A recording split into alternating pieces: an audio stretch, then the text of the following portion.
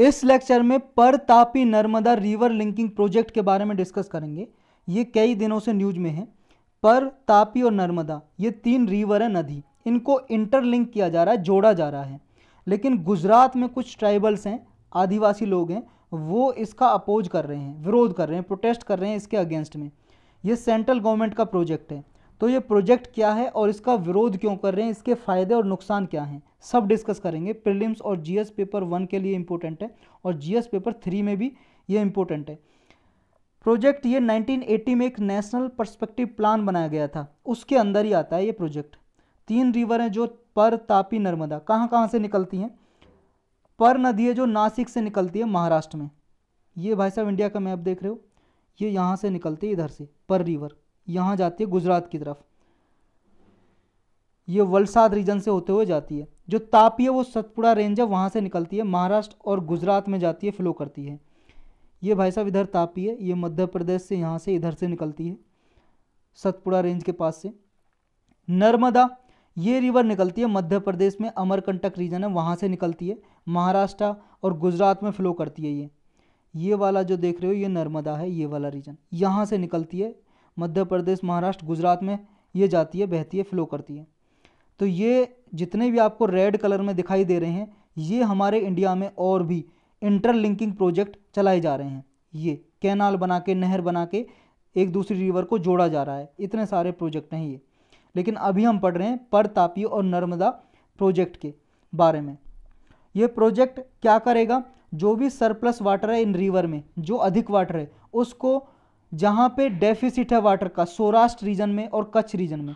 गुजरात के सौराष्ट्र और कच्छ रीजन में कम पानी है। वहाँ पे ये पानी डाइवर्ट करेंगे कैनाल बना के। कैनाल मतलब नहर बना के। क्या बेनिफिट होंगे इसके फ़ायदे? देखो भाई साहब, इस जो सरप्लस वाटर है, अधिक वाटर है, पानी है, इसकी वजह से हम बाढ़ भी आ सकती है, अगर ज़्यादा बारिश हो जाए तो यहाँ पे बाढ़ नहीं होगी। तो सरप्लस वाटर और जगह पे भेज दिया जाएगा डाइवर्ट कर दिया जाएगा, वहाँ पे सूखा नहीं पड़ेगी। पहला फ़ायदा तो ये होगा इसका। इससे लिंक बना के लगभग टू लाख बत्तीस हज़ार, दो लाख बत्तीस हज़ार एक सौ पचहत्तर हेक्टेयर के एरिया को इरीगेट किया जा सकता है, वहाँ पे सिंचाई की जा सकती है खेतों में। लगभग इतने इकसठ हज़ार एक सौ नब्बे हेक्टेयर की लैंड पे ये लैंड रूट बनेगा, कैनाल का लिंक होगा ये। दस हज़ार के लगभग, दस हज़ार करोड़ के लगभग इसमें कॉस्ट आएगी इस प्रोजेक्ट में। इस प्रोजेक्ट का विरोध क्यों कर रहे हैं लोग?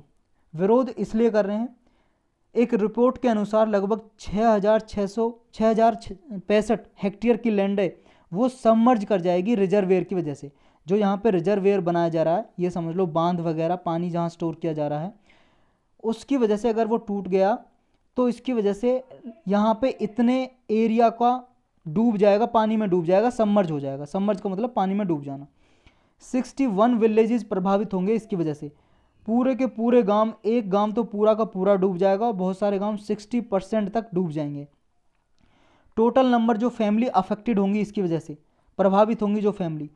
2509 फैमिली प्रभावित होंगी इस प्रोजेक्ट की वजह से, जिसमें से 98 फैमिली ज़्यादा प्रभावित होंगी। एक झेरी रिजर्वेयर प्रोजेक्ट बन रहा है जो महाराष्ट्र में, इसकी वजह से छः विलेज प्रभावित होंगे। गुजरात में लगभग 2000 फैमिली इसकी वजह से प्रभावित होंगी, अफेक्टेड होंगी। जो ये फियर कर रही हैं, उन्हें ये डर है ट्राइबल्स को कि इन्हें डिसप्लेस कर दिया जाएगा, दूसरे प्लेस पे भेज दिया जाएगा। और जब दूसरे प्लेस पे इनको भेज दिया जाएगा तो आपको पता है रिहेबिलिटेशन और कंपनसेशन का जो प्रोसेस है हमारे इंडिया में कितना डिले रहता है। ना तो पूरी तरीके से लोगों को पैसा ही दिया जाता है, ना उनका घर बनाया जाता है और उन्हें दूसरी जगह पर भेज दिया जाता है। उनके घर छीन लिए जाते हैं। तो ये भी इन्हें डर है। बेनिफिट क्या होगा इस लिंकिंग प्रोजेक्ट का? फ़ायदे पहला तो यही होगा वाटर और फ़ूड सिक्योरिटी इन्हेंस होगी। जब भाई साहब जहाँ पे पानी नहीं है ड्रॉट सूखा पड़ती है सौराष्ट्र और कच्छ रीजन में तो वहाँ पे पानी उपलब्ध होगा सिंचाई होगी खेतों की तो खेतों में अनाज होगा उसकी वजह से खाद्य सुरक्षा होगी फ़ूड सिक्योरिटी आएगी। दूसरा है प्रॉपर यूटिलाइजेशन ऑफ़ वाटर। पानी का सही उपयोग हो सकेगा वरना अब, अब तक तो इस समुद्र में जाता था पानी इन रिवर का जो बचा कुचा पानी है। नेक्स्ट होगा बूस्ट टू एग्रीकल्चर। एग्रीकल्चर तो ये तो फ़ायदा होगा, ऊपर हमने पढ़ा, कृषि में फ़ायदा होगा। डिजास्टर मिटिगेशन आपदा जो संकट आते हैं उनका, कम होगा रिडक्शन होगा उनका। कैसे? जहाँ पे पानी ज़्यादा है, वहाँ पे फ्लड बाढ़ आ सकती है। जहाँ पे कम है, वहाँ पे ड्रॉट सूखा पड़ सकती है। तो दोनों के दोनों ही डिजास्टर हैं, बाढ़ हो या फिर आपका सूखा हो फ्लड ड्रॉट तो ये मिटिगेशन होगा डिजास्टर का। बूस्ट टू ट्रांसपोर्टेशन ट्रांसपोर्टेशन का भी प्रमोशन होगा इसकी वजह से। आवागमन बढ़ेगा। इशू और कंसर्न क्या है? इशू और कंसर्न पहला तो हमने ये पढ़े कि जो ये लोग विरोध कर रहे हैं, उसकी वजह से वो भी सारे इशू और कंसर्न है। और भी इशू हैं, जैसे ये प्रोजेक्ट पहली बात तो बहुत ज़्यादा एक्सपेंसिव है, बहुत ज़्यादा खर्चा आएगा इसमें। तो ज़्यादा बोझ किस पे बढ़ेगा? गवर्नमेंट पे, सरकार पे। दूसरा नुकसान क्या है? इसी में पढ़ते हैं। पहला नुकसान, पहला तो एक्सपेंसिव है। दूसरा ये लैंड, फॉरेस्ट बायोडावर्सिटी रिवर और लोगों की लाइवलीहुड को प्रभावित करेगा, जैसा हमने ऊपर डिस्कस किया। फॉरेस्ट के साथ साथ ये वेटलैंड लोकल वाटर बॉडीज इनको भी प्रभावित करेगा। और ये मेजर ग्राउंड वाटर रिचार्ज के मकैनिज्म है।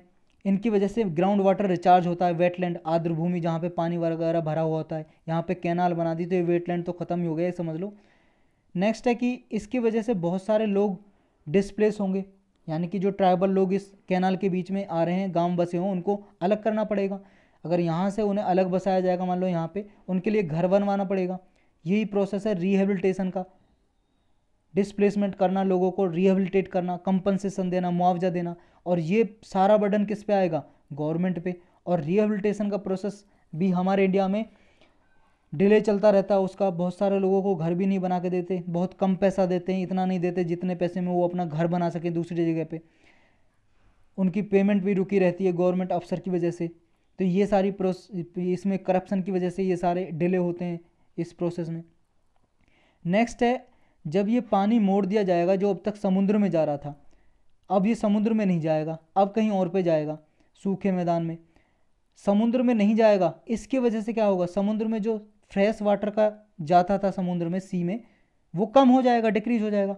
उसकी वजह से जो मेरीन लाइफ है, उस पर प्रभाव पड़ेगा, क्योंकि बहुत सारे जो जीव या यहाँ पे कुछ स्पीसीज थे पानी में, जीव थे या पेड़ पौधे थे, वो ताज़ा पानी की वजह से वहाँ पे जीवित थे।